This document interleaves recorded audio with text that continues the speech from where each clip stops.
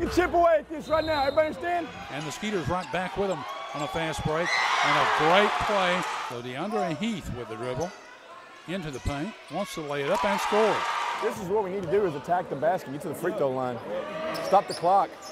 LeBlanc penetrating, laying it off to a teammate, and an easy score. Mention, there's another steal. There's a steal by LeBlanc. He read it well. And here he goes with a layup. It's too high off the glass, but it comes down anyway. Puts up a long range three. Unbelievable. Way too strong. Nice rebound. Oh, it's good. It's good. LeBlanc shot par- partially blocked.